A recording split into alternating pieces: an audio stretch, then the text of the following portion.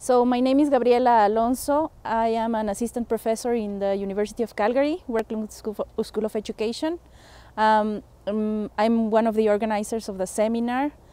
This uh, idea started um, 2014 when I was part of uh, the seminar as a participant. So my role then was to learn about modeling strategies for socio-ecological systems and I worked with the IAI on, on a proposal and, and a project that was successfully funded.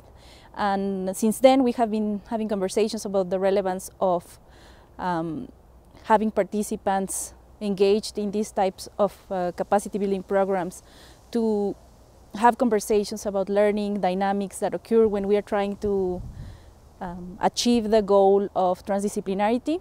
Just by saying that a project is transdisciplinary doesn't mean that we are actually doing it. There's many steps that we have to follow and there's now uh, increasingly more research guiding us through those processes.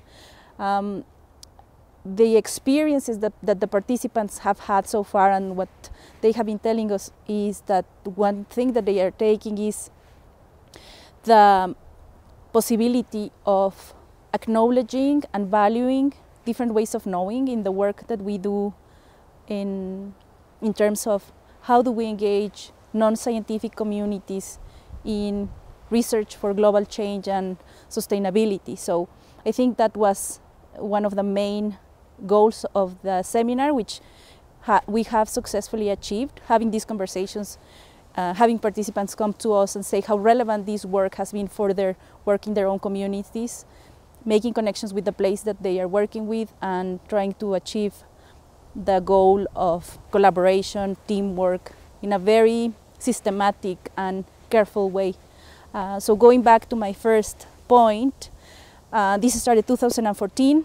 Um, has a very uh, strong um, way of approaching projects, very um, carefully crafted, and so I think it's it's important work, and we should be having more opportunities to to keep doing this type of work.